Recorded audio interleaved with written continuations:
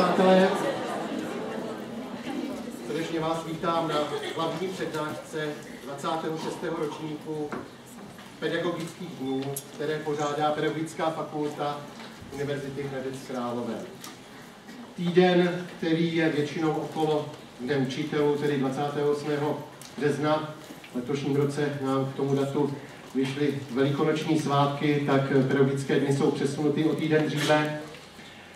Tak součástí jsou různé přednášky, workshopy, semináře, ale také výstavy, koncerty a konference. Jednou z těch konferencí v letošním roce je konference pořádaná katedrou kulturních a náboženských studií. Přijíždí celá řada hostů, tady vepředu vidím pana profesora Václava Bělohradského a tu hlavní přednášku, jak pedagogických dnů, tak právě této zítřejší konference, která začíná v této budově v 9 hodin, bude mít pan profesor Manfred Špicer. Ještě než ho pak přivítám jeho rodné řeči, tak ho potleskem přivítejme mezi námi.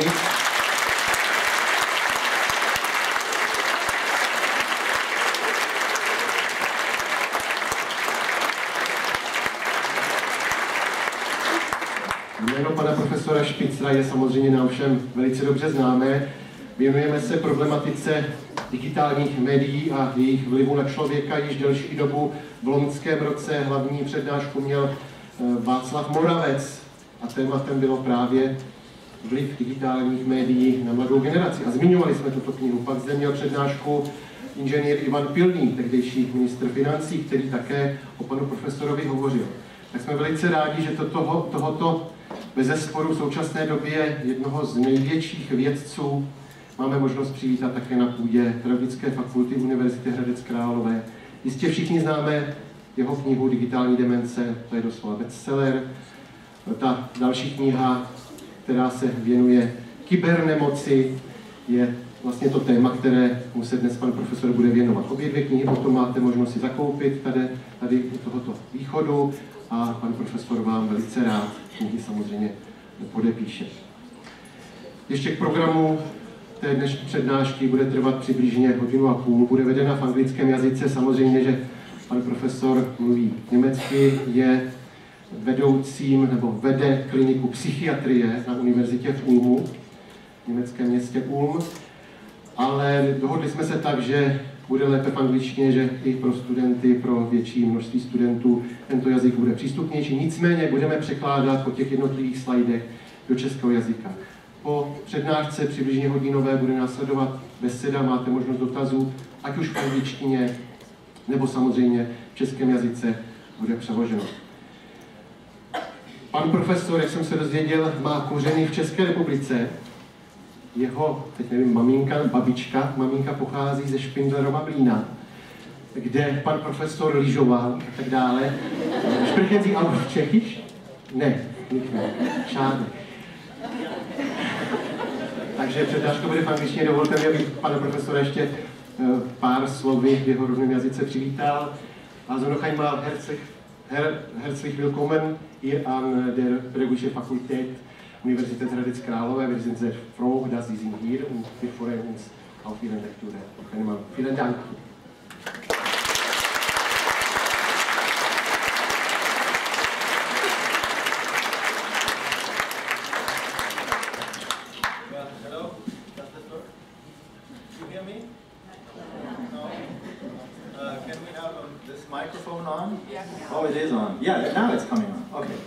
Well, hello. Uh, let me let me first ask you, who, who doesn't speak any word of English? Hands up. Kdo z vás nemluví anglicky? Přihlašte se. okay. Okay. So so you you, you, get my English, and let me start out saying that I'm thankful for the invitation, and I'm delighted to be here. Came from Prague, and it's even nicer here. And um, uh, and I have some connections to this country, which I really like, uh, simply because my mother was born in Spindler of Mlü. Not kidding.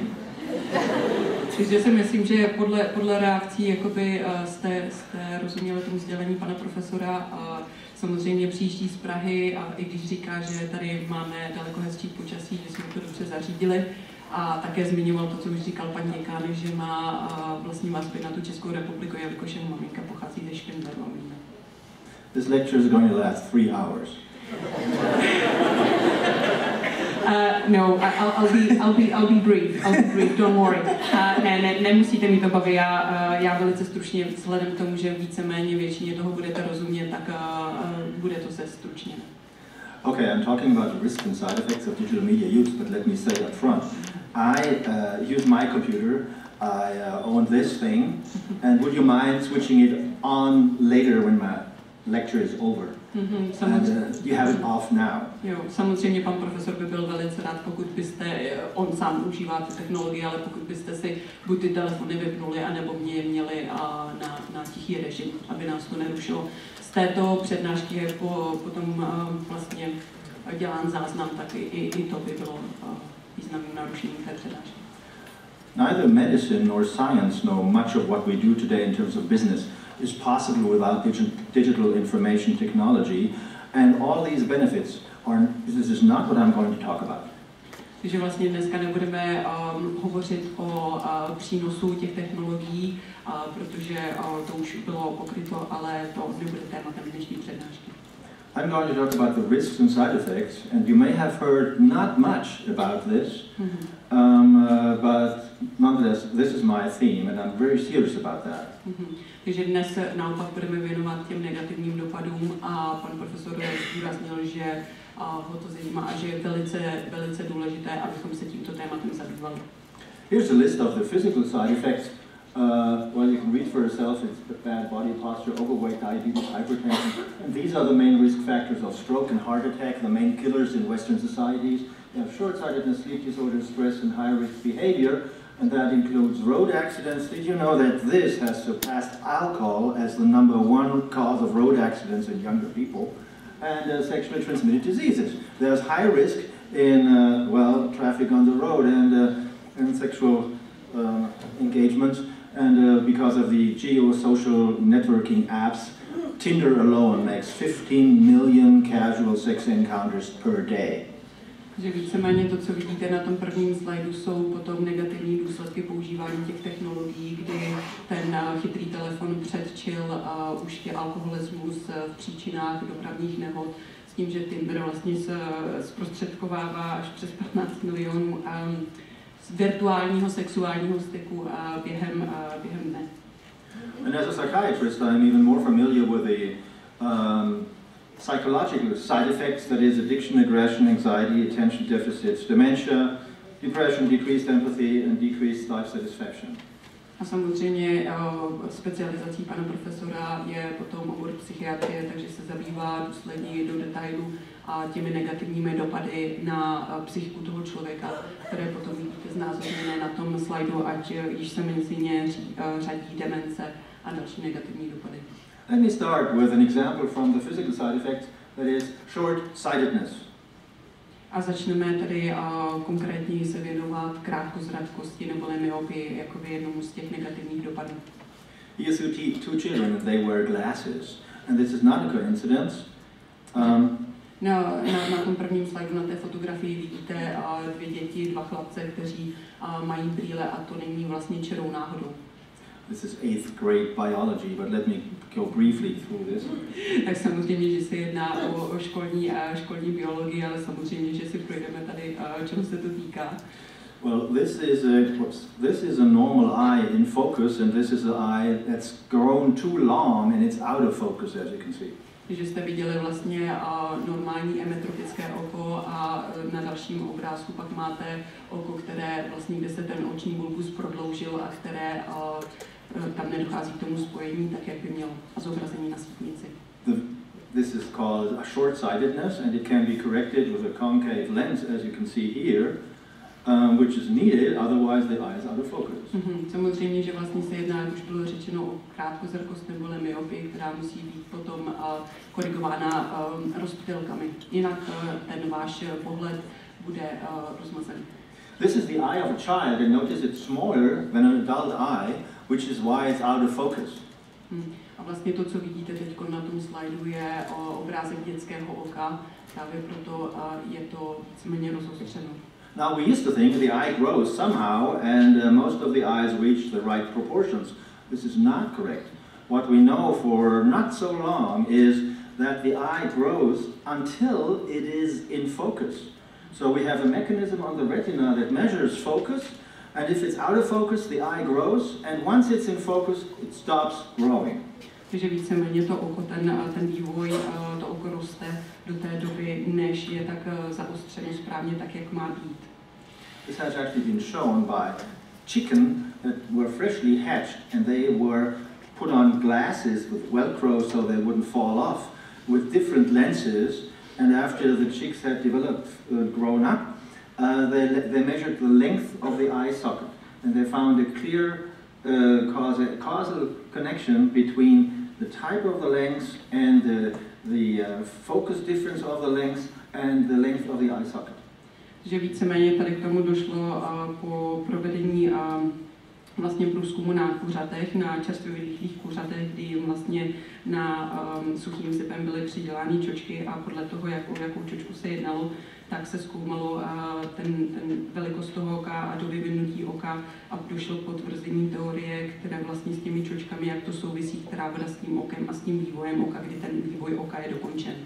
So the eye of the kid grows until it's in focus unless you focus all the time on a very short, uh, short range because then the eye has to grow longer to well, to get the image with the rays coming from here and, uh, and reflecting them again here, so the eye has to grow longer to get this short range vision into focus. And it does grow longer. Takže víceméně to dětské oko tak se mění fyziognomicky do toho momentu, než dochází k tomu plnému zaostření. Pokud ovšem, to se mění v případě, pokud se nezaměřujeme nebo to oko není příliš mnoho zaměřováno na krátkou vzdálenost, tím souvisí i to, že to oko se pak vyvíjí jinak, než by mělo a prodlužuje se ten oční bulbus. So if you look at normal range, uh, then the eye is, in, is out of focus. And um, uh, this happens if you watch often onto, onto your screen of your smartphone. It also can happen if you read a lot, but according to the latest statistics, young people in Germany read for about 15 minutes a day. Books, uh, that's not a danger any longer.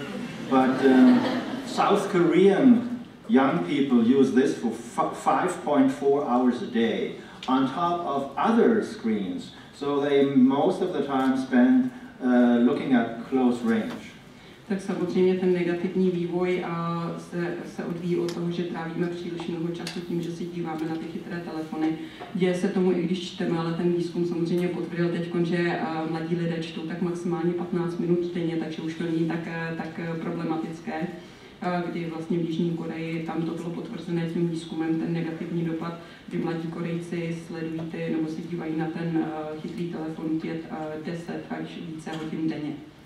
This is a problem because this is a study that came out in 2015 and it has many authors because many specialists in ophthalmology put their data together across Europe and found out that whereas elderly people, they have still 1 to 5% of short-sightedness, but the under 20-year-olds in Europe have a, uh, the percentage of short-sightedness is 30%. Takže víceméně tady to bylo potvrzené výzkumem v roku 2015, jehož název vidíte na tom slajdu, kdy u, těch, u té starší generace se samozřejmě krátkozrakost vyskytuje, ale není tak uh, rozsáhla, když to u mladších lidí je to uh, 30 a více procent. And well, in Europe it's 30%, in China it's 80%, and in South Korea it's way over 90% že víceméně, když v Evropě je, tomu, je ta krátkozrakost výskyt 30%, tak vidíte, že vlastně víceméně v Ázii a v Číně dokonce 80 až 90%. We call this an epidemic. Že samozřejmě se jedná o epidemii. And uh, so what can we do about it?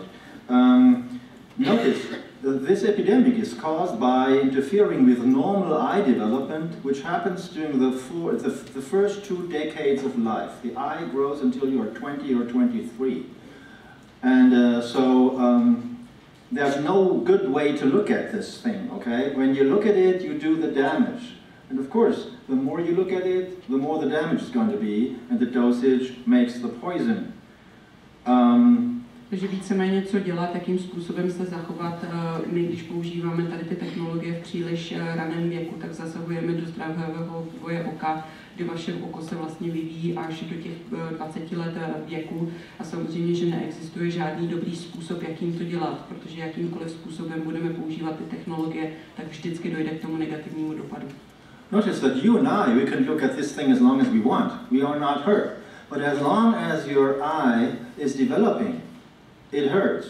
Tak samozřejmě, že tam jsou rozdíly v tom, když se to, eh, na to bude dívat dospělý člověk, jehož oko už bylo plně dovyvinuto, tak ten dopad není takový právě, protože to oko už je vyvinuté. Horší je to samozřejmě v těch eh, případech, kdy to oko dovyvinuto není.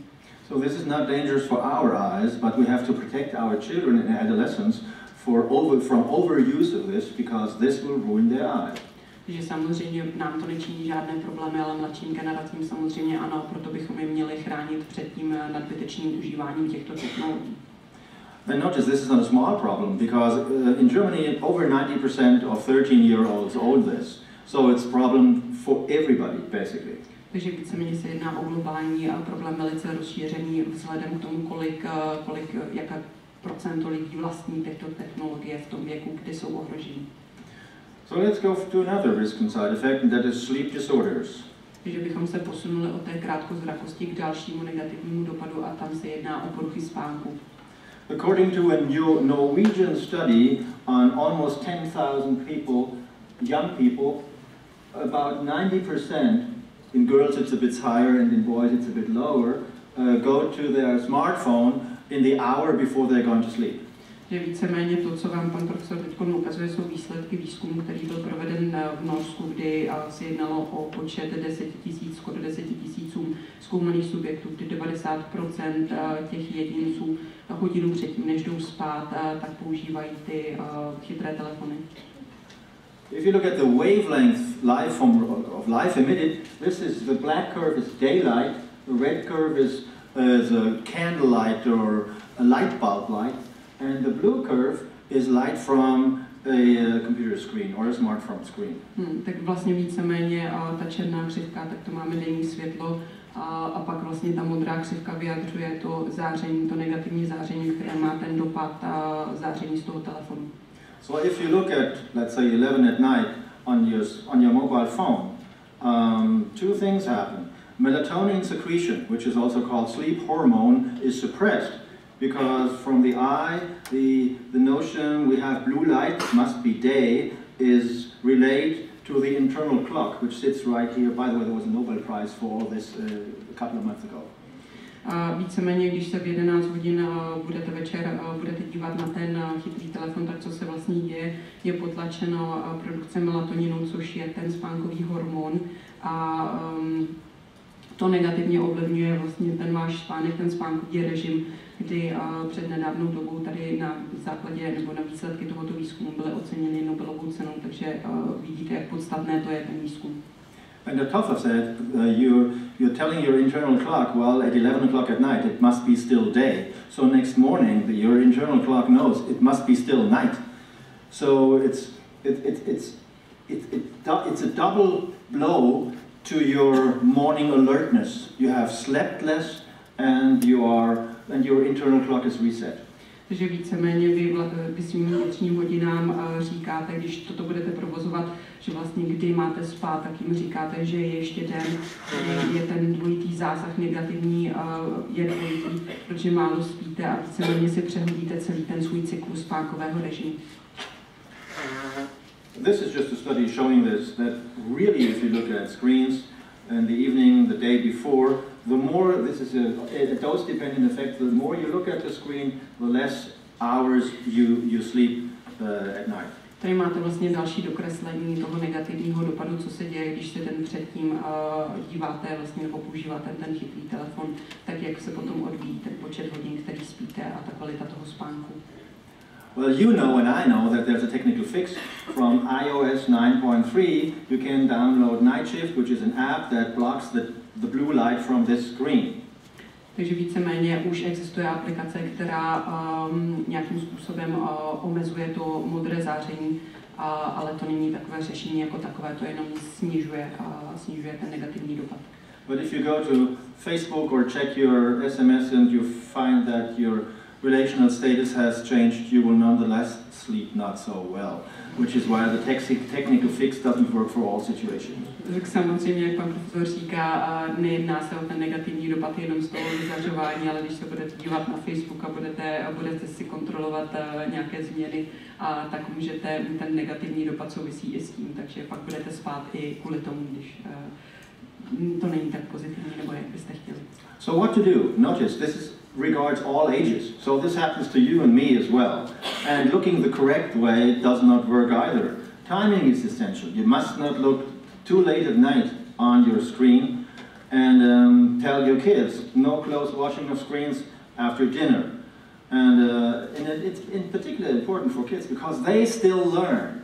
And if you're among those who still learn, then not sleeping enough is a double whammy for memory because you will be tired in the morning during school, that's one thing. And the second thing is you will do, in the next night, you will do less consolidation, that is fixating of the memories that happens during sleep. So you learn less, and what less you've learned sticks less in the next night. So it's a double whammy for learning and memory, which is why this is a disaster in terms of educational processes that happen in German schools at least. Now, Takže, víceméně to, pan profesor položil otázku, co dělat, protože se nás to týká všech, takže bychom se neměli dívat eh, příliš nebo používat ty technologie příliš dlouho do noci. Obzvláště u dětí bychom je neměli dovolit nebo měli bychom jim poradit, aby se nedívali a na, nebo nepoužívali ty svoje chytré telefony po večeři. A samozřejmě, že u nich je to obzvláště důležité, nebo u kohokoliv, kdo se ještě učí, protože toto ovlivňuje potom i učení a dvojím způsobem. Už eh, se nejedná jenom o tu unavenost, kterou již pan profesor zmiňoval, ale také o konsolidaci toho naučeného, konsolidaci upevnění těch poznatků, které máme, která je samozřejmě daleko menší. A to nejenom díky té unavenosti, ale tím, jak to negativně ovlivňuje celý náš nervový systém. as a final example, let me just briefly talk about hypertension. A jako dalším uh, negativním a možná posledním, který uh, pan profesor zmínil tím do- dopadem, je vysoký tlak. This study came out in, 200, in 2015, and what they simply did, they had the iPhone on the desk and the iPhone started ringing, and when it rang, blood pressure and heart rate goes up. Tak samozřejmě to, co vidíte, jsou výsledky studie z roku 2015, kdy bylo prováděno šetření, když máte vlastně ten chytrý telefon na stole a ten uh, telefon by zazvonil, tak uh, váš tlak zestoupí vlastně s tím uh, v ten moment, kdy ten telefon zvoní. If you have only this experiment, you could say, well, this doesn't really matter in the real world. But there's another study from the real world. This is a school nurse taking blood pressure of 331 uh, school kids and then um, looking how much inter- internet use they had. Either little or, well, 4 hours, 10 hours, or 25 hours. And this is the proportion of kids with high blood pressure depending upon hours of weekly internet use. Takže víceméně to bychom se mohli říct při té předchozí studii, že to není až tak důležité, ale tady vidíte výsledky výzkumu, který byl prováděn na um, žácích uh, ve školách, kdy uh, vlastně ten zdravotnický personál měřil tlak a, a tady vidíte výsledky v souvislosti s tím, kolik času trávili používání těch technologií. Tak samozřejmě čím déle trávili buď uh, s tím s chytrým telefonem nebo na internetu, tak tím vyšší ten tlak potom byl. Notice that these data are only correlational. You might say, well, the high blood pressure people spend more time on the internet. It's the other way around. So you cannot uh, uh, infer cause and effect from this, but you can infer cause and effect from experiments that do not generalize necessarily to the real world. But we have the mechanism of action and we have the same thing in the real world. So once we have both, we can be pretty sure that what's the cause and what's the effect, and that it's real. Hmm. Tady vlastně víceméně není jisté, co je příčina a co je důsledek, tak někdo by mohl namítat, že jedno je odvislé od druhého nebo naopak, ale pokud to srovnáme vlastně s těmi případy z běžného života, tak už vám dojde to, nebo by je z toho patrné, že eh, ten negativní dopad je na základě používání, nadměrného používání těch technologií. And for the non-medical students among you, let me tell you that I don't have high blood pressure, um, uh, and uh, if, if I did get it, it wouldn't hurt me much because it takes decades to cause effects like arteriosclerosis and at the end heart attack or stroke. But these young guys, they have all the time they need. They live for more than half a century. And so with this time, you will develop everything that is in the medical textbooks that come with high blood pressure. For example, heart attacks and strokes. Že víceméně pan profesor to stáhl na sebe, že pokud se jedná o osobu jeho věku, tak samozřejmě jemu už to toliko neuškodí, protože říkal, mám rok, mě to může potkat kdykoliv a, a může se to vyvinout nebo nemusí. Horší je to ovšem u těch jedinců mladšího věku, kdy oni mají uh, v rámci toho svého života daleko větší prostor k dalším uh, rozvojím těch civilizačních chorob, takže samozřejmě nejenom ten vysoký tlak v nich může nastat, ale pak ten dopad může být až vlastně ve formě toho infarktu myokardu. And since I talk to the education people, let me talk directly about learning and education. And let me start with a curve that has been published more than a decade ago by an economics Nobel Prize winner. Takže víceméně vzhledem k tomu, kde jsme, že jsme na půdě pedagogické fakulty a máme tady jedince, kteří se zabývají vzděláváním, tak se budeme daleko více věnovat tomu tématu. What you see here is the return of investment in money spent on education. And you can easily, and this is a whole article only about this question, and this figure summarizes it nicely. It's taken directly from Science Magazine, and it tells you that if you want to invest in education, at what age do you spend the money? The earlier the better. You spend it in kindergarten and you get most bang for the buck. And in school it works, and in after school, so-so. Že víceméně tady tu křivku, kterou máte znázorněnou, tak jde o návratnost investic eh, do rozvoje toho lidského potenciálu. Samozřejmě čím dříve eh, investujeme, tím máme další možnost investic a tím by potom měla být větší i ta návratnost těchto investic. And the reason for this is very simple. Small kids learn the fastest. They pick up a word by a single encounter with a new word. You have to do it 20 times, and I have to do it 50 times until I get it. You know, the kids will get it immediately and they learn how to walk and how to talk and what the world is all about, even without a teacher in the first six years of their life. It's incredible, but this happens because the brain is such a good learner early in life. Takže víceméně děti, děti se učí rychle a více, protože ta plasticita, plasticita toho mozku je samozřejmě větší, když to my uh, v dospělém věku, tam už je to trošičku horší. Now, before you leave this hall depressed, because you're all down here, okay? Um, let me tell you the other side of the truth, and the other side goes like this. Here are two, well, Czech people, uh, 40 years old, so way, way back here, okay? And this person speaks the Czech language, and this person speaks the Czech language and four more languages. Now guess, they both learn a new language, and who will get do this better, this guy or this guy? Who's for this hand up? Who's for this hand up? Right, yeah.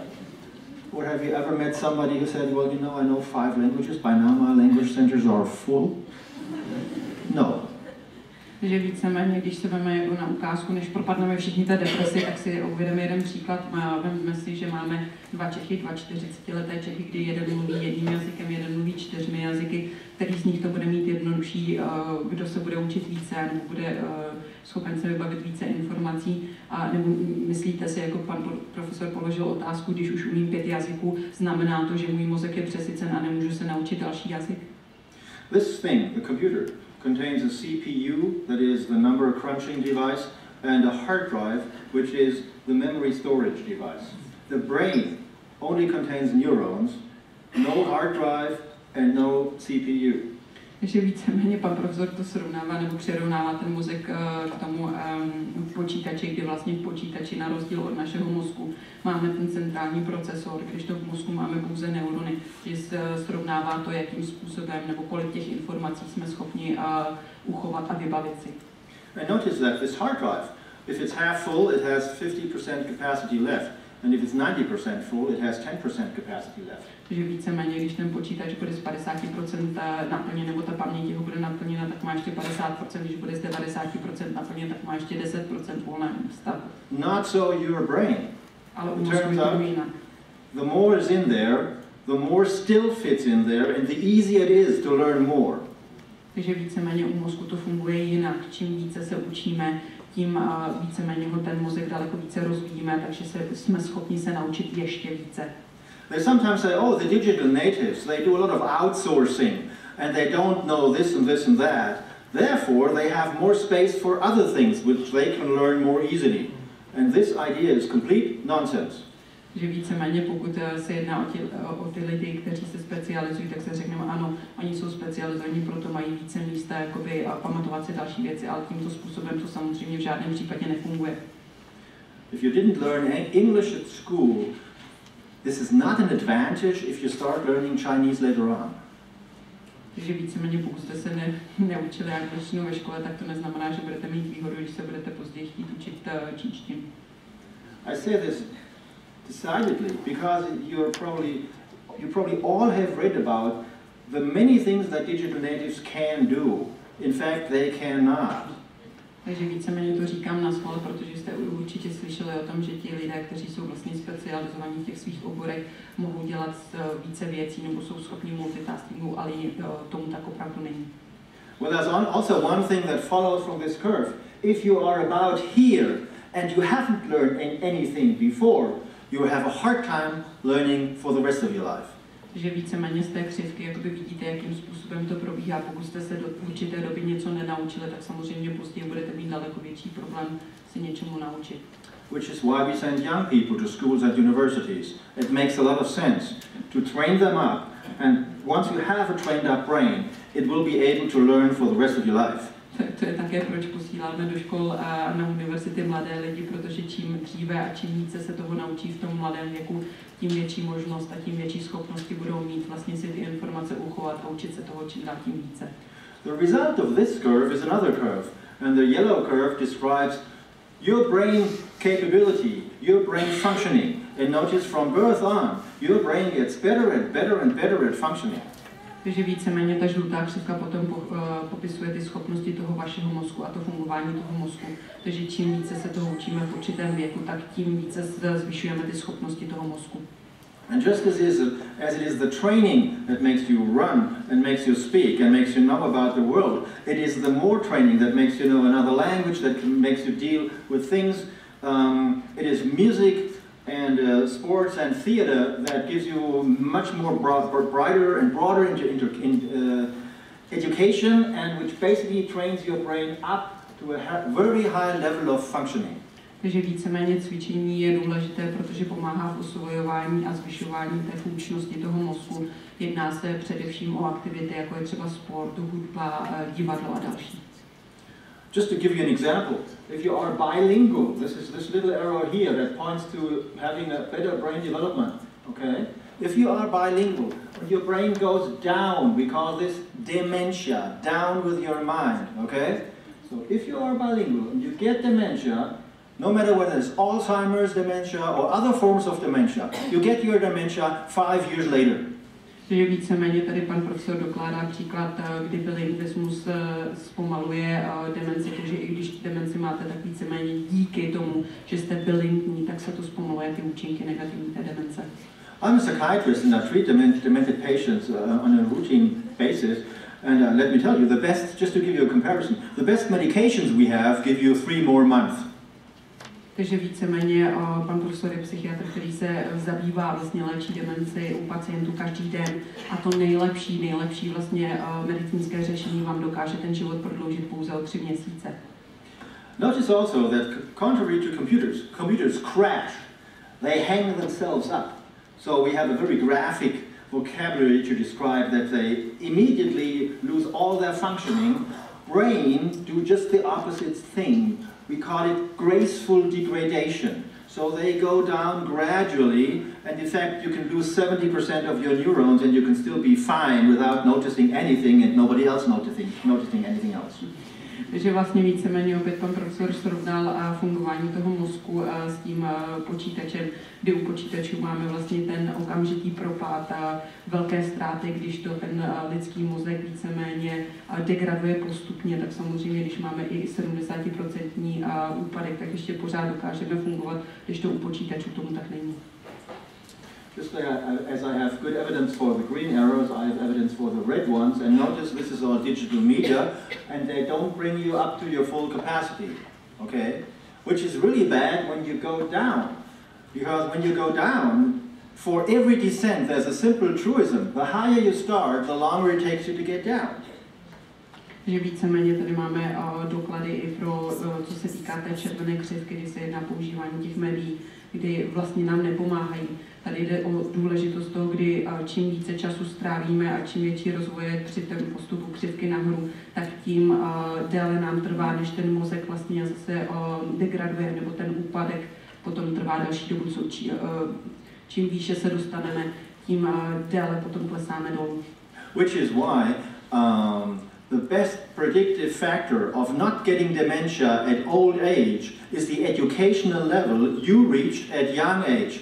The higher you get here, the, longer it takes you to get down. And if you get down here, well, you're dead before that, so you haven't gotten dementia.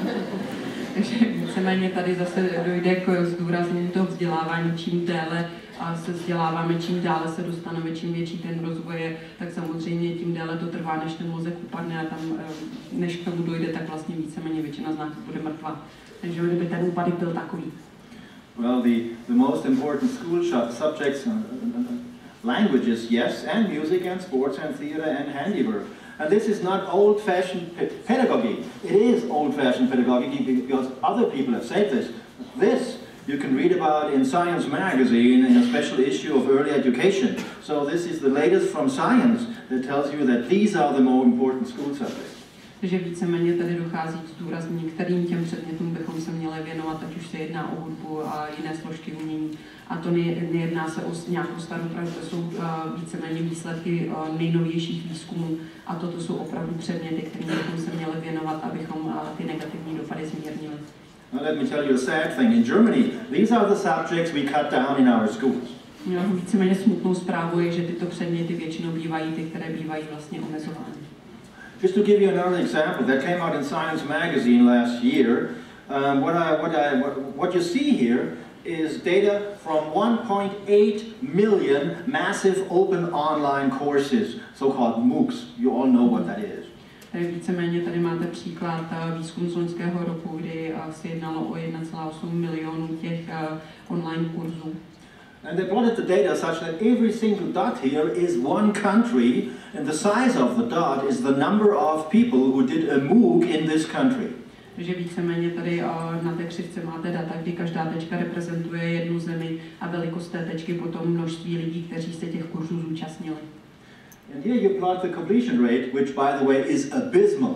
If a MOOC were my invention, I would not be proud of it because more than 90% don't make it. So it's not the latest and the best from pedagogy to do a MOOC. Takže víceméně tady, tady dojde k potvrzení toho, že a tyto kurzy uh, nejsou až tak výhodné, protože vidíte na té křivce počet dokončení, jako počet lidí, kteří úspěšně dokončili ten kurz. But we can see this is how developed the country is, which is a proxy of how educated the people from that country are. And what you can clearly see, the less educated you are, the, the, the, the smaller are your chances to make it to the end of the massive open online course.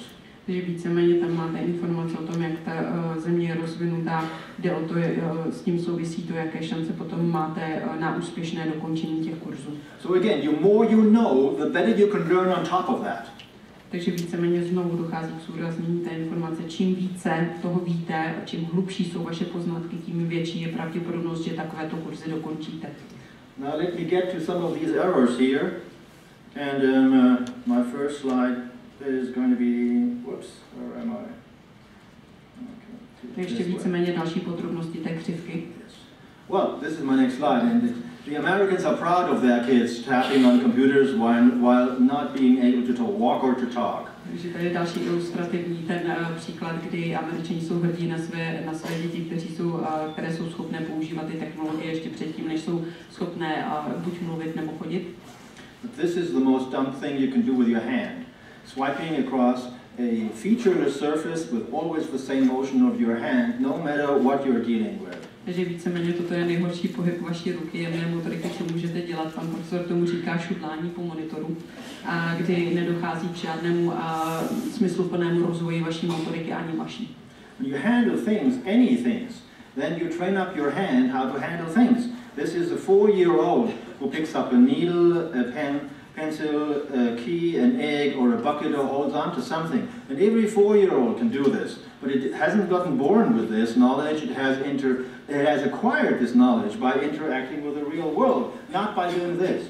Takže víceméně tady máte ilustrační fotografie, aktivity eh, čtyřletého jedince, kdy dochází k jen eh, procvičování jemné motoriky, ale nejedná se o úkony, se kterými se ten jedinec narodil, musí se tomu naučit, je to reflex a učí se tomu ve styku vlastně s tím skutečným světem uchopování těch předmětů.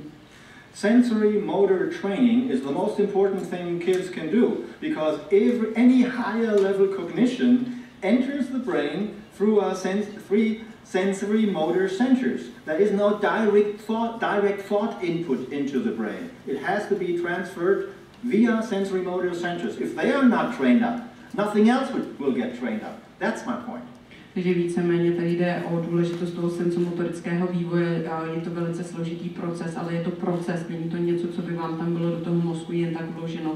Takže ta motorická centra jsou potom eh, souvisí s rozvojem dalších našich schopností. Proto ta důležitost. Which is why this is not good. Ano, a, a to, je, to, je, to je proč vlastně víceméně to, co vám pan profesor ukazuje. Ani to.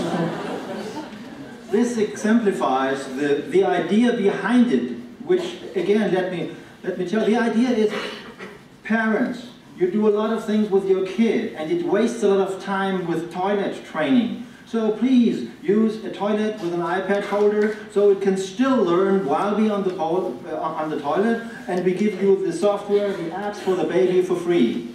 In fact, this costs 36 euros. I bought it to make the picture, which was cheaper than getting the rights of this picture.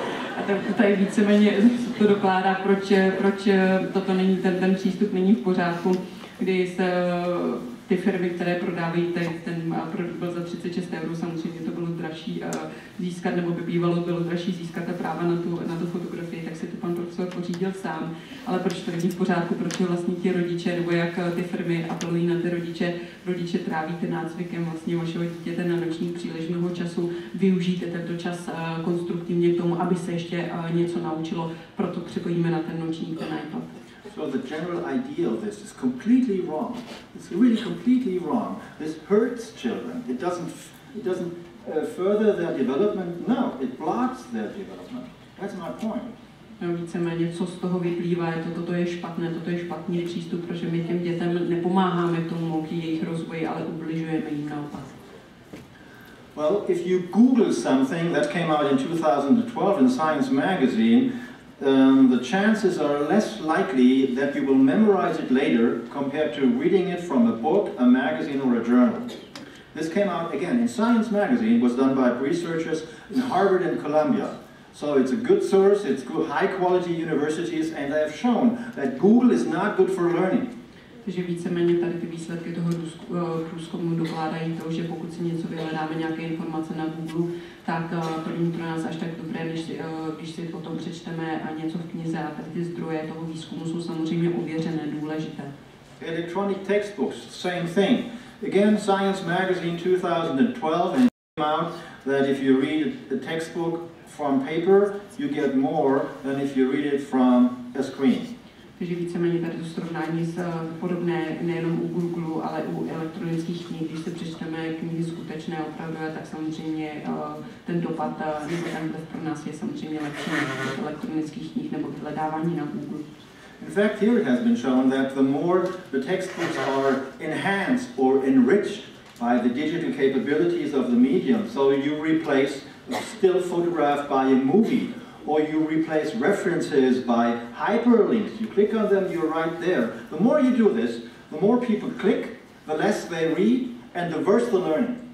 Že čím více bývají tyto elektronické knihy a další pomůcky upravovány, tím místo fotografií máme třeba různá videa, tak tím více se soustředíme na to klikání a tím méně, méně se učíme. So it sounds good to make the textbooks, you know, with all the bells and whistles, but you more that you do this, the less will be learned. This, again, it's not me saying it. Please Google everything I'm telling you for yourself. You need not trust me. You can trust in the scientific literature, and that's, I, that, this is what I tell you. Uh, maybe it would be better if they read the book now. Sure. Samozřejmě eh, toto zní všechno dobře, ale, ale pokud mi nevěříte, najděte si to, najděte si na Google a tady ty informace, je to všechno doložené relevantními a důležitými a adekvátními zdroji. The pen is mightier than the keyboard. I really like this title. And what they've shown, and one guy from Silicon Valley and one from Princeton, they, they did it five times. And half the students used their laptop as always, and the other half, in a randomized way, had only to use paper and pencil. After the lecture, they said, stop, remain seated, we do a multiple choice uh, test about the content of the lecture. And five times the same came out. If you write along, you learn more than if you type along. Že víceméně tady to zase potvrzené výzkumem, kdy během přednášky určitý počet studentů používal zápisů těch poznámek klávesnice a, notebooku, netbooku, a zbytek používal pero klasický a papír a potom byl udělaný test, kdy víceméně došlo k potvrzení toho, že ti, kteří používali pero a papír, si pamatovali z té přednášky daleko více. In fact, you find publications like this. This came out last summer in Scientific American. And you can find a lot of uh, American professors, in particular at the good universities, who will say, the, the first task in my first lecture is to say to the students, put away your laptop, please put out paper and pencil. This is how you learn most. And if you really want to use your laptop, go to the last row because otherwise you would make the, the ones behind you inattentive because they follow what you're doing on your screen. A toto je potvrzené zase dalším výzkumem, kdy publikace i z loňského roku, především v USA, vlastně toto potvrzují, kdy nejvíce se naučí ti, kteří používají pero papír, už ti profesoři to takhle jakoby avizují a ti samozřejmě ti, kteří chtějí používat ty notebooky, notebooky nebo netbooky, tak uh, jsou prošení o to, aby se dali do zadních řad, aby tím vlastně používáním těchto technologií nerozptilovali ty, co sedí za nimi.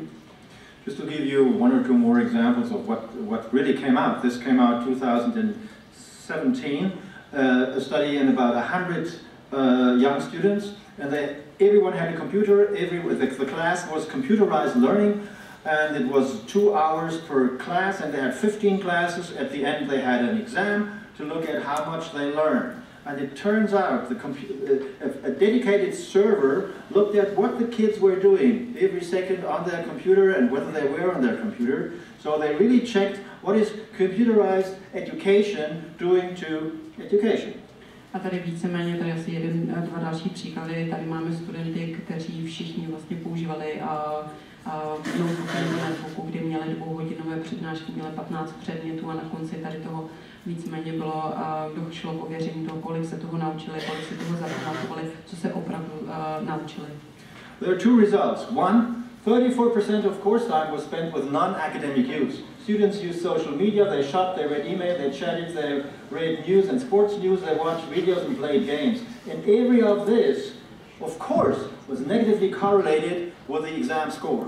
Takže víceméně, co opravdu ti studenti dělali, pak se ještě prováděl ten průzkum, jak trávili ten čas během té výuky. A tady vidíte, co všechno jiného dělali, než aby se věnovali té výuce. The second result was, yes, they also used the computers for course-related studies. But there was no correlation between the time they did so and the exam. Takže víceméně ještě ten druhý dopad toho výzkumu byl, že někteří studenti nebo ti, co se věnovali především nebo té výuce, jak měli, tak to nebyla, nebyla tam přímá korelace mezi tím, že používali ty technologie a mezi zlepšením těch jejich výsledků. So if computers were a pill against stupidity, and you would get want to get your pill approved, and you would write this up, you would get your approval. You would not get your approval because the agency will tell you, well, it has no effect and it has a lot of side effects. Takže kdyby víceméně počítač byl eh, nějakým lékem proti, eh, proti stupiditě, tak eh, víceméně byste nedostali potvrzení, nedostali byste povolení, abyste ho uvedli na trh, protože víceméně bez toho, abyste měli přímý důkaz, že to zlepšuje ty vaše podmínky nebo že to řeší ten problém, tu nemoc, tak nedostanete to potvrzení a, a povolení k tomu prodeji a víceméně tady se jedná o stejný případ. One of the best studies, maybe the best study, came out three months ago. It was done in West Point Military Academy in the US. And what they did, they took 15, 50 classes with 726 students. They randomized it, that is, they threw the dice to form three groups.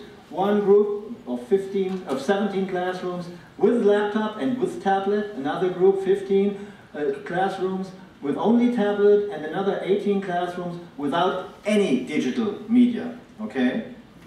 A tady víceméně máte um, výzkum, který byl proveden před třemi měsíci. Je to nejlepší vlastně zdroj a byl to proveden na West Pointu, kde jsme měli, kde bylo 50 předmětů, přes 700 studentů, kteří byli náhodně rozdělení do třech skupin. V té první skupině se jednalo o skupinu studentů, kteří používali jak laptop, tak tablet, v druhé skupině používali pouze tablet a ta třetí skupina nepoužívala žádné digitální technologie. And then they did an entire semester, and after the semester they had various examinations. And it clearly came out that this group without computers did about 20% better than the other groups. A na konci toho semestru vlastně takto probíhala výuka celý semestr, na konci byly provedeny zkoušky a vidíte výsledky, že ta skupina, která neměla žádné využití, žádné digitální technologie, tak eh, jejich výsledky byly o 20% eh, lepší, vyšší než u těch, kteří je měli. And the authors emphasized that this was Westport Military Academy, young, highly motivated guys. So they clearly stated at the discussion of their results, it will be much worse any place else. Takže víceméně tady bylo ještě zdůrazněno to, že se jednalo o studenty z West Pointu, kteří jsou vysoce motivovaní, jejichž podmínky a schopnosti jsou daleko vyšší než u normální všeobecné populace, takže u všeobecné populace ty výsledky budou ještě daleko markantnější, ty rozdíly budou markantnější a, a výsledky horší.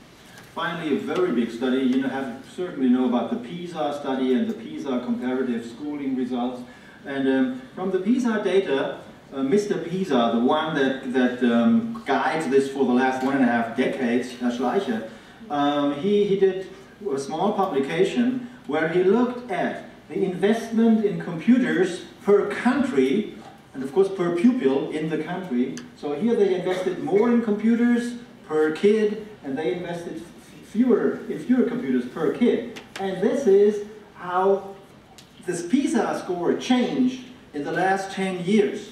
And you see it's a negative correlation. That is, the more money they spend on computers in educational settings, the worse the kids got.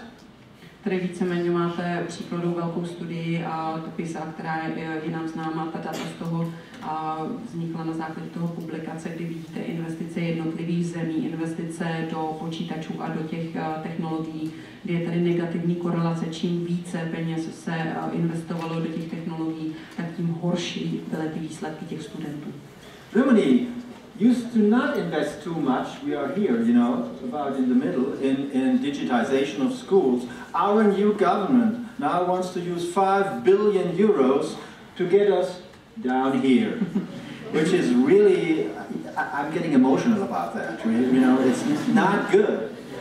Tady víceméně vidíte situaci, co se týká Německa, že ne, e, Německo neinvestovávalo do těch počítačů nebo do těch technologií tolik a teď se chystají, ta vláda se chystá investovat 5 bilionů, tak samozřejmě pan profesor je velice uh, znepokojen tou situací, protože uh, je jasné, že se jim bude dařit hůře.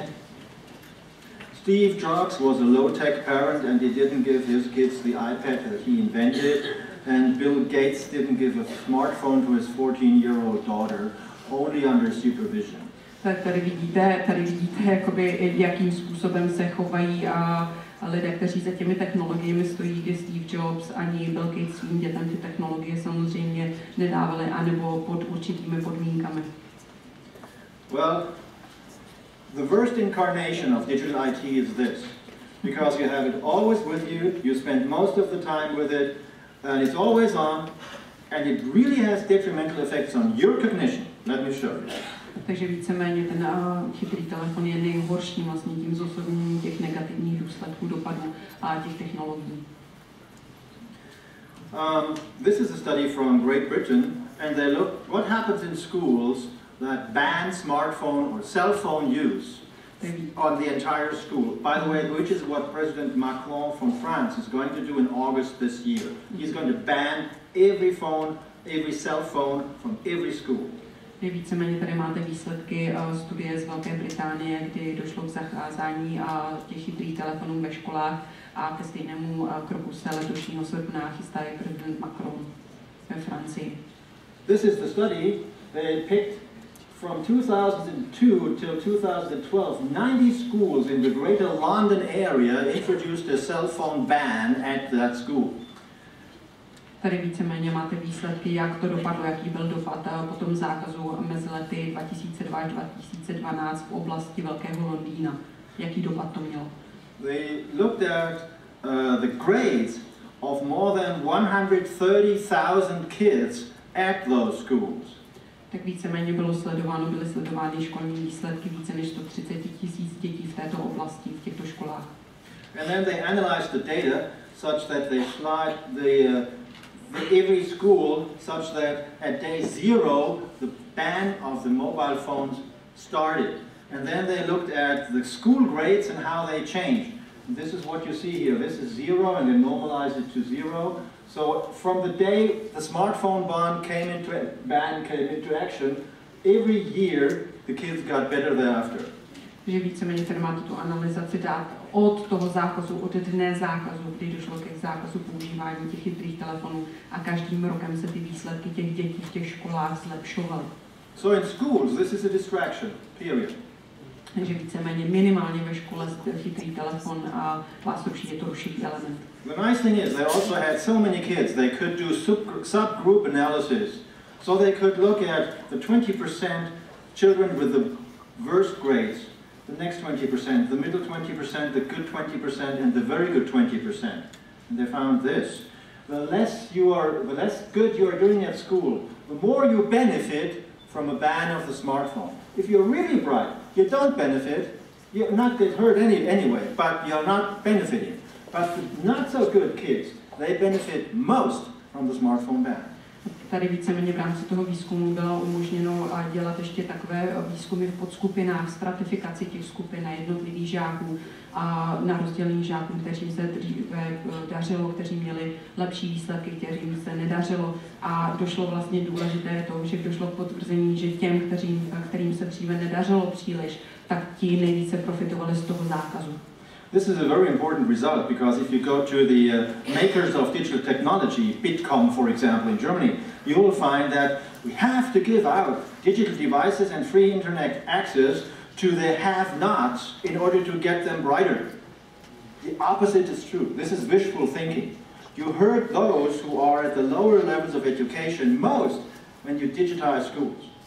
Víceméně tady to je důležitý výsledek, protože uh, mnohdy dochází vlastně k takovému ospravedlňování toho přístupu, dát přístup k těm znevýhodněným, k těm technologiím, abychom jim pomohli, abychom vylepšili tě, tu jejich situaci, ale samozřejmě, že to, co děláme, tak má opačný důsledek, protože těm, kterým se příliš nedaří, tak tím ještě více škodíme. Uh, a bit more on smartphones. This is on the relationship between cell phone use, academic performance, anxiety, and satisfaction with life in college students. And this is what came out, a large-scale study. The more you use your smartphone, the less your academic achievement, the more anxiety you have, and the less, with both, your satisfaction with life. tak víceméně tady to je ještě korelace toho, jak používáme nebo jak mnoho používáme chytré telefony, že se nejedná jenom o to, jak se nám daří ve škole, ale celkově to ovlivňuje tu životní spokojenost a naše nálazení, že čím více ty telefony budeme používat, tím menší spokojenost, životní spokojenost a takové to pozitivní nalazení budeme mít. A Chinese study on more than 7,000 adolescents showed that the more you use this, the more you suffer from attention deficit disorder. Takže víceméně studie z Číny potvrzuje to, že čím více používáme nebo čím častěji používáme chytré telefony, tím větší máme problémy se soustředěním se. Well, if this is on your desk and rings, this is this study here, uh, your attention gets down and your memory goes down. So this is the effects of cell phone ringing on attention and memory. že víceméně tady vidíte výsledky studie o tom, pokud máme ten chytrý telefon umístěný na stole a zazvoní, tak a naše, jak naše paměť, tak naše pozornost bude klesat vlastně v důsledku toho vyzvánění.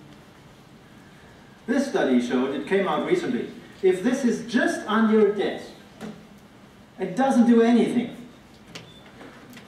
Your IQ goes down compared when it's on the desk compared to when it's in your pocket or in another room and your capable, your uh, thought capabilities, its open uh, uh, operation span score, it's how fast and how good you can think, it goes down if you have it on the desk compared to having it in your pocket or having it in another, in another room. So just sitting there draws mental capabilities from you Takže víceméně, když ten telefon nezvoní, leží nám na stole, tak se dochází k úpadku vlastně těch našich, uh, našich schopností a, a funkčností toho mozku. Záleží na tom, pokud leží na stole, nebo ho máme v kapse nebo v jiné místnosti, tak samozřejmě a nejmenší negativní důsledek nebo dopad je, když je ten telefon v jiné místnosti, ale i tak to má na nás negativní vliv, i když nezvoní. And why is this? A proč Well, tomu tak je? Because you could look up what's happened now in the last few minutes. and you have to take some mental effort not to look up. So it constantly draws from your mental bandwidth, as some call this capability. And so it's bad not to have it on your desk. Put it far away. The farther, the better for your thinking and your IQ. Proč tomu tak je, i když to vlastně nevyzvání, protože víceméně se soustředíme na to, co eh, by se mohlo stát, kdyby tak ten telefon zazvonil a proto to odvádí naší pozornost, tak proto je lepší se toho telefonu víceméně zbavit a mít ho co nejdále od nás. Most pe- people who use Facebook use it, use it using the smartphone. It's about 2 billion people use, who are on Facebook. And what happens when you go into Facebook is not that you get happier because you have more social connections. No, just the opposite. Because a Facebook connection or a Facebook interaction is not a real interaction. In fact, social media is a, is a contradiction in terms.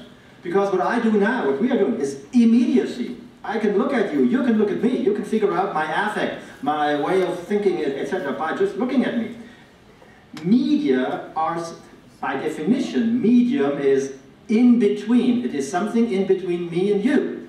Social is immediate. So social media is about as sensible as a married bachelor or uh, a circled square. Okay, there is no such thing.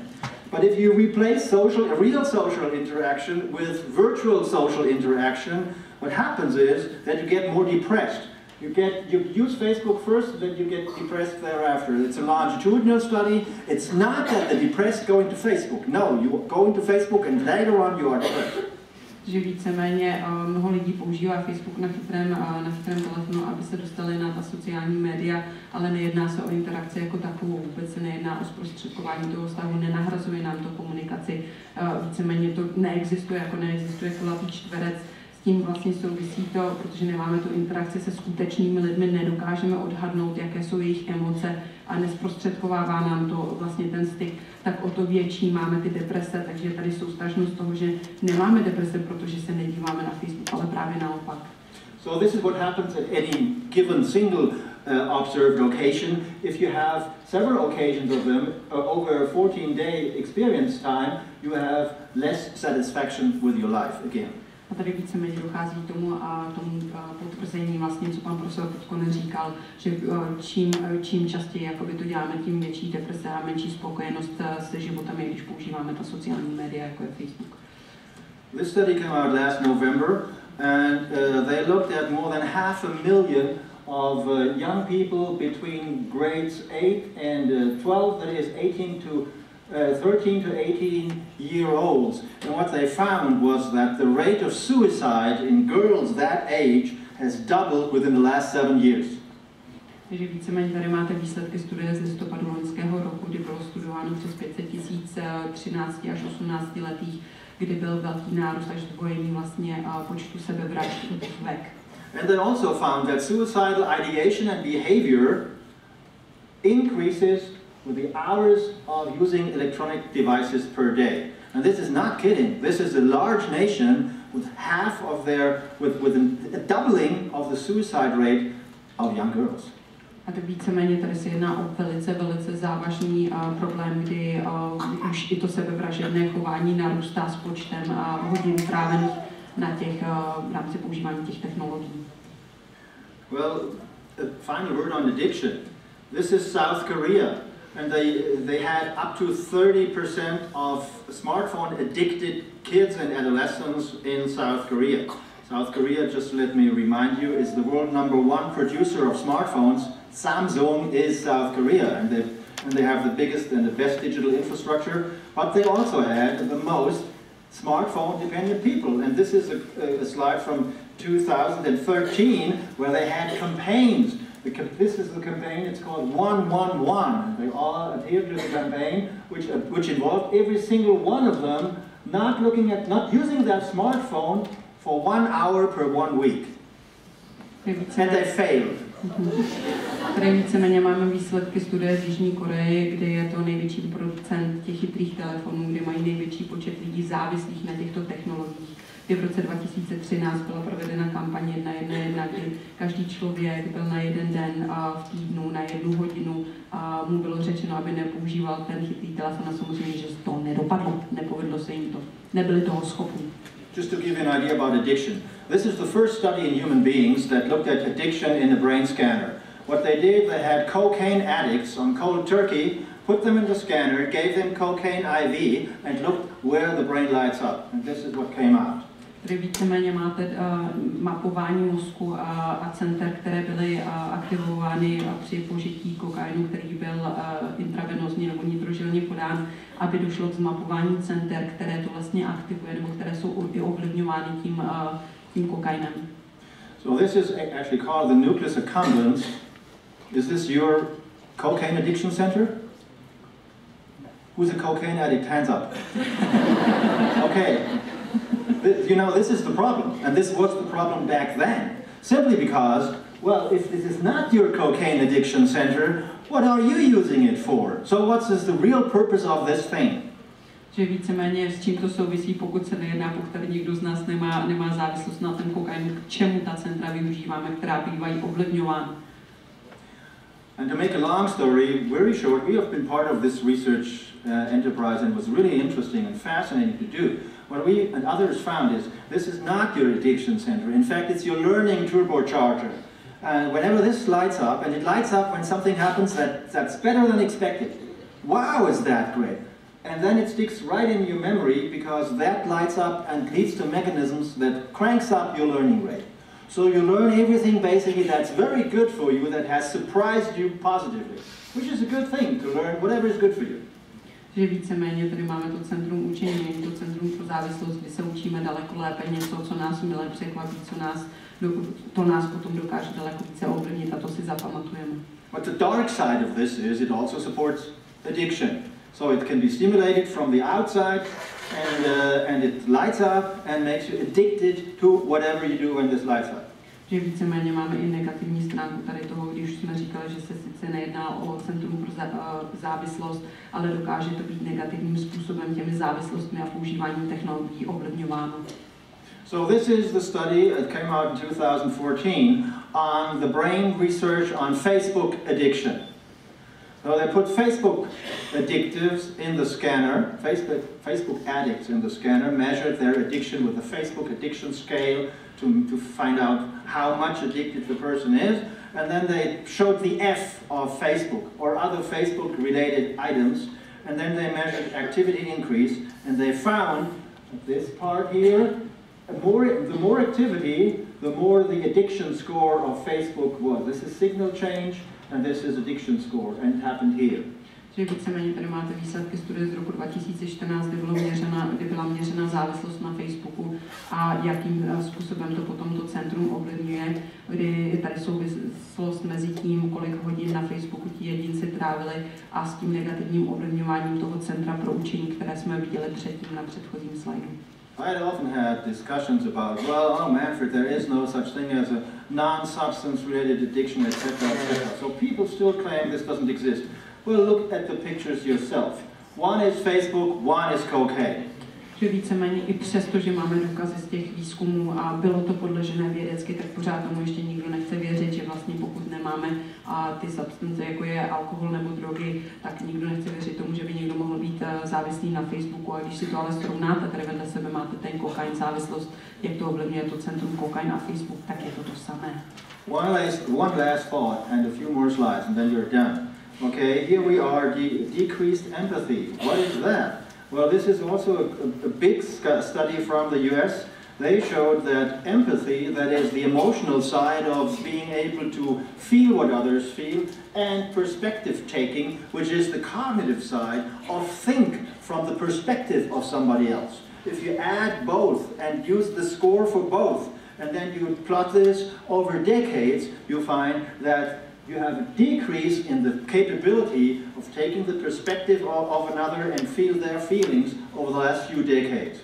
Že víceméně tady máte výsledky studie z posledních uh, dekád, kdy jedná se o poslední bod přednášky, jak uvidíte pár slajdů, který se týká empatie a schopnosti uh, vcítit se, uh, přejmout něčí názor, vstoupit do takzvaných pomyslných bod toho druhého, kdy v posledních dekádách dochází ke snižování této naší schopnosti.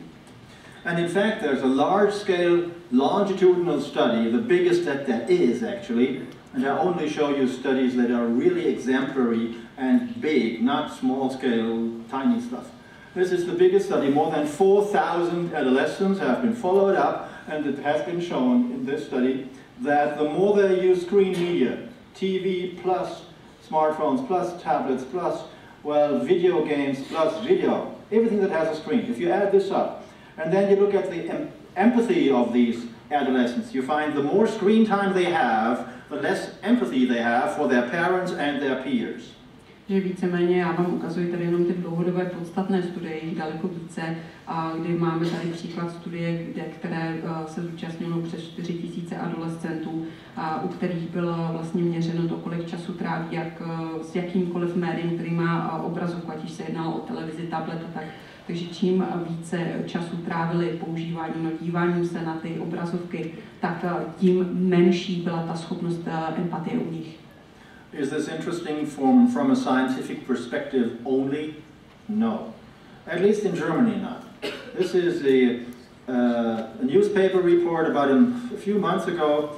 There was a motorbike rider who had an accident and he was dying. And then a passerby came didn't help, didn't talk to the person or helped him, you know, or whatever. No, filmed the guy who was dying and put the film online.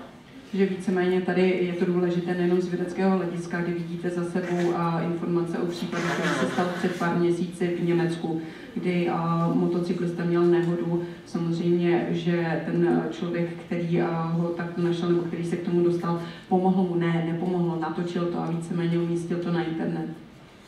Another case, there was an old man lying in front of a money machine. And the first four people wanted to withdraw money, stepped over the guy, with the withdrew money, stepped back over the guy, and the fifth person who wanted to get money helped him.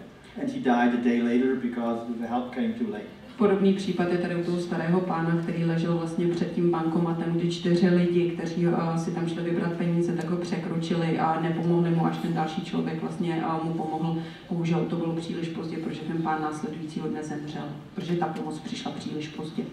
We have in Germany there's a lot of uh, concern about this. And in fact, last week they discussed the new law.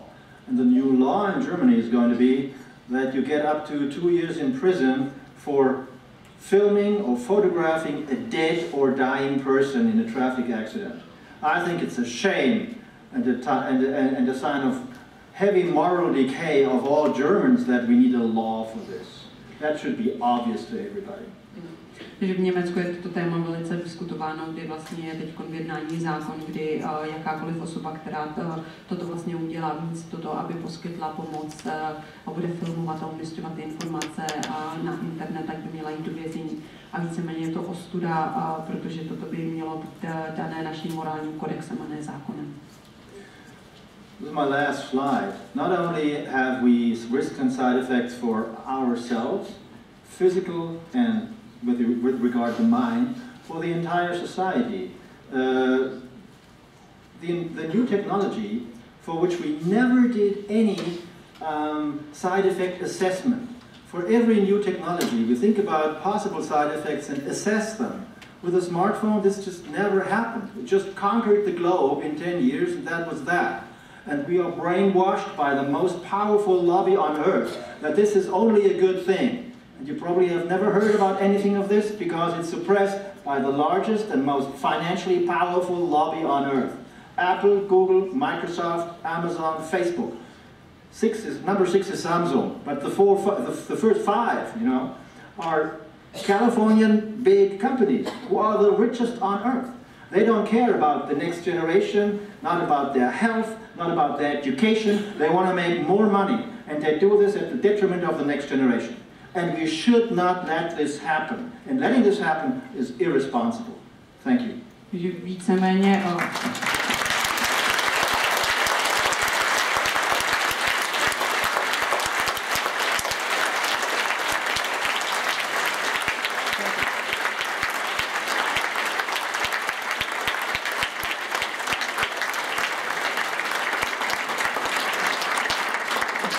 ještě bych dodala vlastně u toho posledního slajdu jde o negativní dopady používání technologií, kdy u jakékoliv jiné technologie byly zkoumány vedlejší účinky. A u těchto technologií tomu nikdy tak nebylo, nikdy to nebylo zkoumáno, nikdy jste asi pravděpodobně o těchto negativních důsledcích neslyšeli, a pokud se tomu nějakým způsobem nevěnujete, protože se většinou jedná o lobby kalifornských firm, těch pěti nejdůležitějších, je to nezajímá, u nich vlastně ty negativní dopady na lidskou společnost nejsou prioritou, tam jsou prioritou peníze, ale mělo by to tam tak být, měli bychom o tom diskutovat.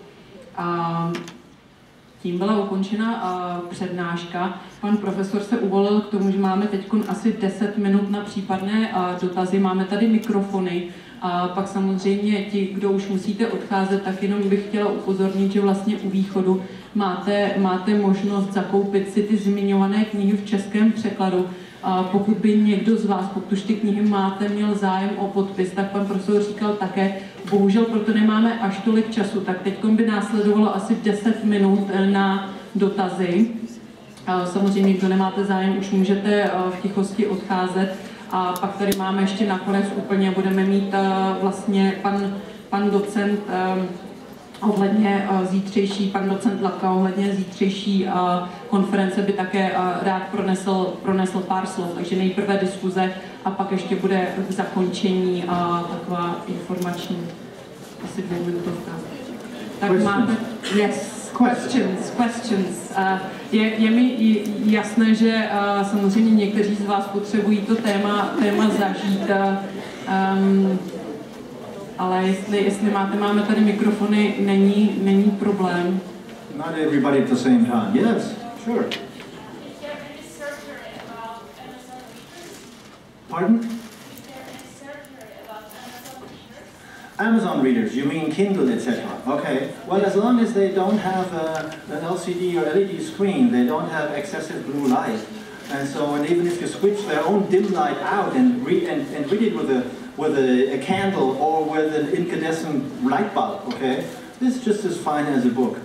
Turns out I and many other people tell me they cannot read from a Kindle as well as from a book because in, on a book you have it on a certain page and you, and you know exactly where you are and you, you have a spatial memory where in the book that was uh, page-wise and, and thick-wise and so on. You, you lack this on the Kindle, but this is personal uh, idiosyncratic experience. There is no um, objective scientific papers showing that reading a Kindle is any worse than reading a paper book. In fact, I think there's one reason to have a Kindle.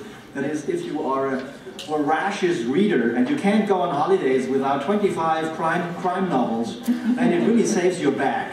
This is a good cause for getting a kid. Tak víceméně jenom pro vás, kdo jste nerozuměli otázce, tak eh, kolegyně se ptala na to, jestli nějaký výzkum, co se týká čteček. Pan profesor říkal, že pokud to nejsou takové čtečky, které by vlastně, eh, kde by docházelo k emisi toho modrého světla, jako u těch chytrých telefonů, tak to není až tak problematické, protože je to to modré světlo, které ovlivňuje ten melatonin, ale samozřejmě, že neexistuje nějaký konkrétní výzkum, který by toto buď potvrdil nebo vyvrátil. Samozřejmě, že to není až tak dobré, jako by ta zkušenost je jiná, než když čtete normální knihu, kde v té normální knize máte, jakoby dokážete odhadnout, kde jste na té stránce, a kde jste v té knize, což normálně jinak, jinak není. A samozřejmě výhodu to má v ten případ, kdy jedete na dovolenou a měli byste si sebou brát 25 knih, samozřejmě, takže ušetříte na bagáži.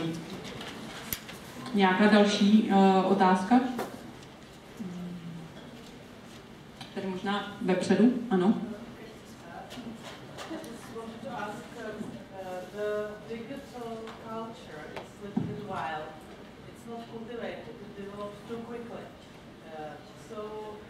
Maybe there are more reasons for all these uh, uh, negative effects, uh, not just screen or not just images instead of sentences, but maybe if we cultivate it in future, it will not be so. Well, the question is, uh, is it that it, it, could be other things affordances of screen media that are harmful, or it could also be that maybe it's just the images and the texts that are harmful, and so it, it, it, is there this clear relation between cause and effect as I, as I claim? Well, where, whereas science can never be sure, that's one thing. Okay? But I can, I can provide you with about 2,000 studies. They all point to digital media as the culprit. And in fact, if you have no change, but only a ban on digital media, or on smartphones, within 10 years, I mean, there's many, many things happen in 10 years. But if you slide those 10 years and you mix them up in that, you know, some schools started in 2002, some 4, some 7, some 12, so anything else will cancel each other out. But there's one thing that didn't, and that was the smartphone ban, which is why these data are so supportive of the smartphone as being detrimental to schools. And again, then we have the experimental studies. This is on your table and you uh, pay less attention, period. So it's not the screens, it's, even, it's the affordance of this that you could access now. Basically, it's your addiction and your distraction. And anything that is as addictive as this and distractive as this will have the same effect, whether it has a screen or not. It happens to have a screen. So we talk about screen media, we talk about digital IT, there may be analog versions of this in the future that have the same effects. I don't know. All I can say is I can talk about what we know now, and the effects are huge. If you add it all up, I mean, strokes, diabetes, uh, hypertension, um, uh, in increased stress, that gives you cancer, and it give, also gives you infectious diseases, depression, uh, dementia, attention, more car accidents. Tobacco is that small compared to that. And in Germany alone, the tobacco lobby took care of 140,000 dead people in the last 50 years. This is pure lobbying. That's 7 million dead people caused by the tobacco lobby in Germany alone. This is bigger. It's bigger money and bigger effect. So I'm talking about millions of dead people here. And millions of depressed people, demented people, suffering people on top of that. And whenever somebody says, well, but this has some good aspects, one should say, well, you have to weigh the good and the bad, which is what medical doctors always do. Everything that has effects has side effects. And if you ask me, the risks and side effects in, at young age by far, by far outweigh the benefits. And just to make another note, South Korea, number one digital country, number one producer of this. This is the first country that introduced legislation to prevent the worst from happening to their young kids and their adolescents. If you buy this and you're under 19 in South Korea, software has to be installed by law that forbids access to violence and pornography, that measures uh, amount of use per day. If it exceeds a certain time, your parents automatically get notified. Take better care of your kids. They you watch this too much. And after midnight, access to these phones for the gaming servers is denied. So you cannot spend all night playing, which is, this is the game console number one these days. Okay? So the South Koreans, I mean, they're living on this. But they have gotten the idea that this is not good for the next generation. And they are not uh, world champion in selling digital stuff in 20 years from now, when they don't prevent their kids to have all the suffering and the mental retardation that comes with this. So they got it. Pardon, já bych jo. And then you see how negative it is. Um, tak já bych jenom shrnula ten dotaz, týkalo se uh, o to, zda ta digitální kultura vzhledem k tomu, jak rychle se to vyvíjí, jestli tam nemůže být více důvodů pro ty negativní dopady, protože nedochází, není to kultivováno a jestli to nějakým způsobem dokážeme ovlivnit vlastně ten vývoj a to působení pan profesor namítl, že tady korelace je, je potvrzená studiemi, kdy vlastně víceméně z toho nejhůře vycházejí ty chytré telefony, které jsou zhubné, ale nejedná se jenom o ty vlastně technologie nebo prostřednictví těch technologií, které mají ty obrazovky.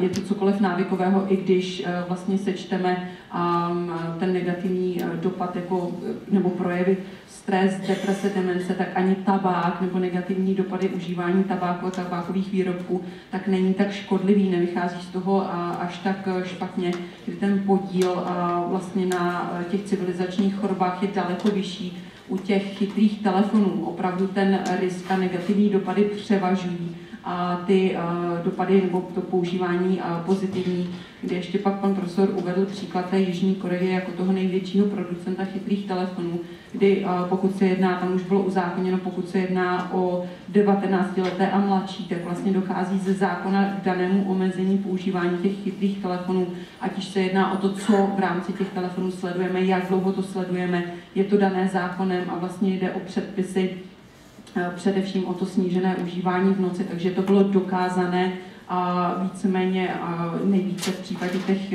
těch chytrých telefonů a, a opravdu tomu bohužel tak je. Tak, milí diváci, já bych vám chtěla, já bych vám chtěla poděkovat, že jste dnes přišli. Chtěla bych vám poděkovat i za vaše dotazy, ale protože se musíme držet nějakého organizačního řádu, tak teďka budeme mít prostor na poslední dotaz a pak bychom diskuzi i dnešní přednášku ukončili. Takže jestli má někdo poslední dotaz, tak klidně můžete.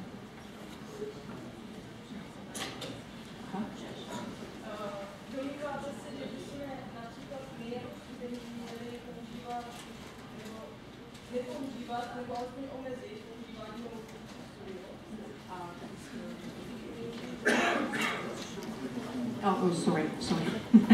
um, if, if, you think um, that the students, you know, uh, in what way to behave, then uh, should they use less of notebooks uh, in education and then of the technologies, how to behave? What's the solution for this then?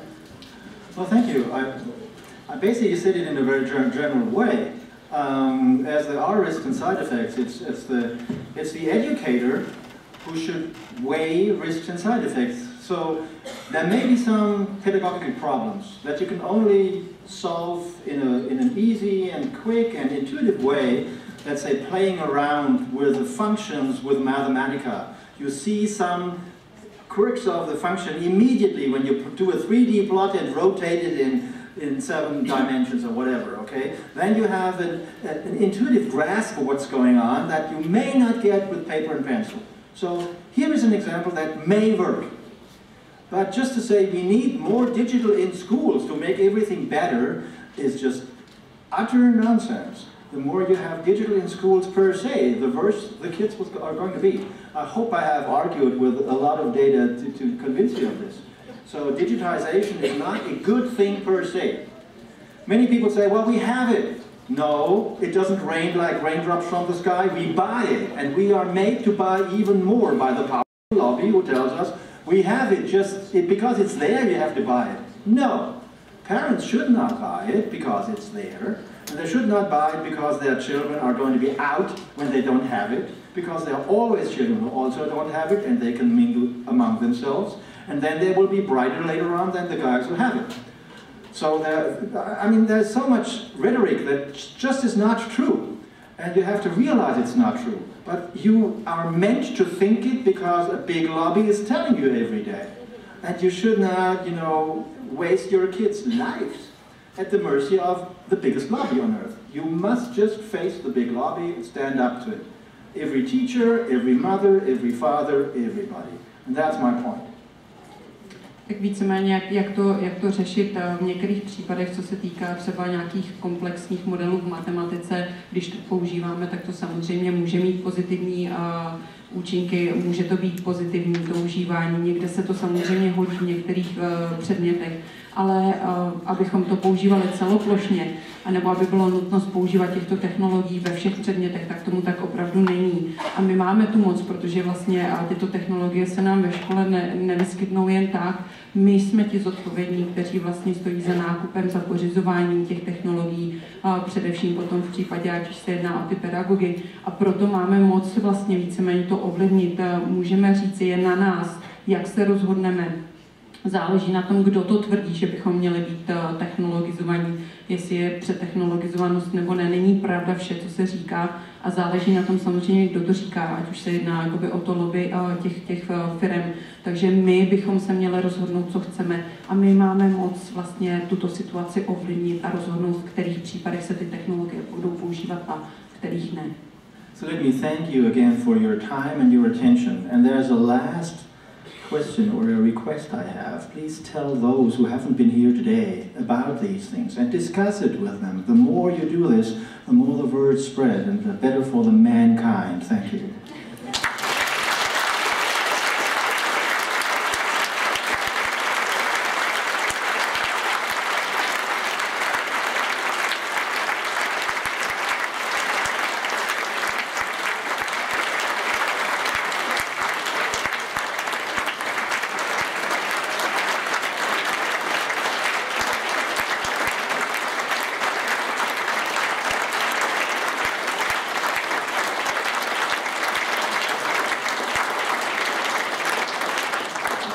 the big applause is, I think, a good sign of appreciated your lecture was. So, the professor, let me thank you on behalf of the whole auditorium. Let me thank you on behalf of our Faculty of Education. Let me thank you also on our children and prospective teachers because uh, here majority of the students uh, really are students of potential future teachers and I'm really happy that uh, within the lecture it was highlighted also ideas like that uh, saying that really the not only the mind not only the, but also the heart and hands are really necessary social emotional education which was highlighted there. And also let me point out that really these ideas are not new to Czech Republic, uh, but still must be refreshed uh, because John Comenius also even in the 17th century said this. So thank you for also commemorating this, uh, though in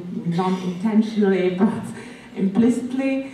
And uh, let me hope that really our prospective teachers will uh, remember that not, not only the companies lobbying for digitalization of schools, but really the emotions and uh, other uh, values are necessary. Thank you.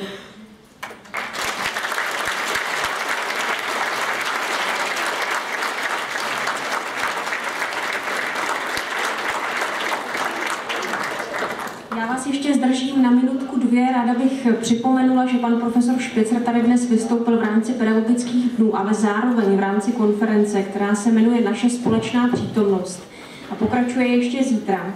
Pořádáme ji společně s Ekonomickou fakultou univerzity, jeho České univerzity v Českých Budějovicích.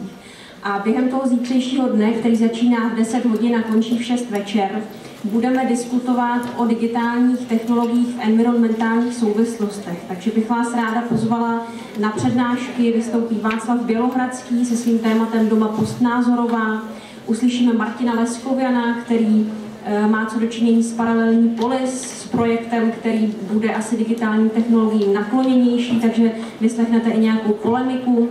A po obědě kulturní antropolog Martin Soukup pohovoří o tom, co dělají digitální technologie s populací na Papuji Nové Gvineji. Vystoupí pastevec a spisovatel Jeremiáš Havranů se svým příspěvkem o kyberšábesu. Jana Karnová o tom, co dělají digitální technologie s našimi městy a domovy. A na závěr si vyslechnete přednášku o citizen science, to znamená, jak mohou vlastně lajci využívat digitální technologie pro pomoc s vědeckými projekty a nakonec bude workshop o citizen science. Takže eh, ten zítřejší den, myslím, nabízí spoustu dalších podnětných myšlenek, souvislostí digitálních technologií a toho, jakým způsobem se vztahujeme ke světu, ve kterém žijeme. Bude se to konat v učebně A1 a jste všichni srdečně zváni. Děkuji za pozornost.